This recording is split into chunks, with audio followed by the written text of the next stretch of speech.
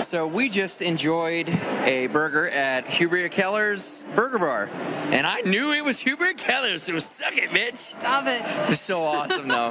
All right, so It was amazing, and I knew his face as soon as I saw it, and I was like, I can't believe this is his place. Right, we, Like, we had an extended conversation where I'm like, no, it's this super famous guy. I know I saw him from Well, no, Top Chef Masters. Well, no, I knew. Burger Bar. That's what I remember. Oh my God. I just didn't realize he was also the same guy that had the five thousand dollar burger. Right, right. And I did. Suck it is Again, the point. uh, yet again, you say it. I know, right? How many times do I have to say yes? You're right, and I was Uh, wrong. I don't know, probably a few more. okay, so, Mac and cheese croquettes. Eh. man, Honestly, once you deep fry the mac and cheese, it gets a little gummy. see, I So- thought all the cheese dissipated. It was like all you were eating was the macaroni. There was a macaroni and breading. Yeah, Yeah. not so much. Strawberry mojito. Oh, so That's because you love good. mojitos I'm now. in love with mojitos.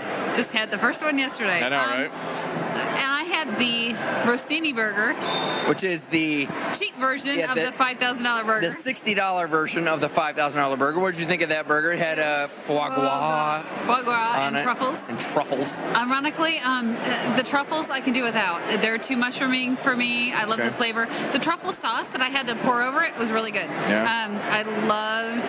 Oh, the burger was so good. Good. So good. So I had uh, something with a lamb. I don't remember, but I thought it was quite tasty. And the irony that we- you and I both agreed about was that we we ate it with the with the ciabatta bread Yep. and thought it was really really good. I don't know if it's something that they do with with the sauce or whatever it is that they do with it, but I remember eating half my burger and I thought it was amazing. And then I started doing what I normally do, which is very we frequently eat the burger without the bread. Right, Yeah. right. I mean, it's it's very Atkins of us, where we just go straight for the meat. But it's really just because we want the flavor of the meat. We just want to go right for that.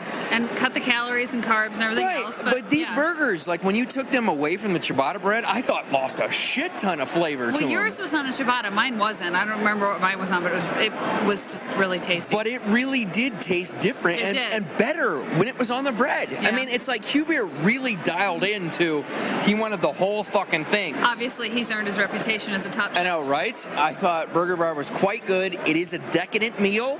Yeah. If you want a burger Oh. The shoestring French fries were also really good. they were they were good. Very I agree. crispy, salty, Yeah. tasty. Yeah. It's an experience. If Yeah. you're a burger fan, this isn't something I recommend as a staple to you unless No. you've got the kind of cash you want to burn to do that. But it's a small place, I'll come back here again in a heartbeat. very unique.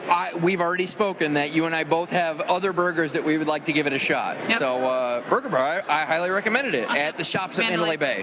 Yeah. Yep.